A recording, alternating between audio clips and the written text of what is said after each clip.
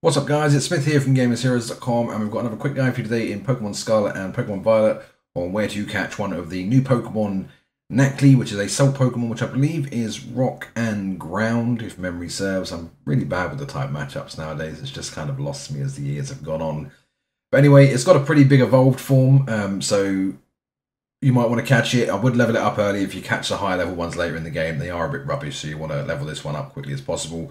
You can find it about here on the map. They are relatively common by these massive windmills, so just head up to this area and you should be able to find them no problem. So there you guys, nice and quick, nice and easy. Get when you need, get back to the game. If we helped you out today, do like, subscribe, we do appreciate it, and I'll see you in the next one. Take care now.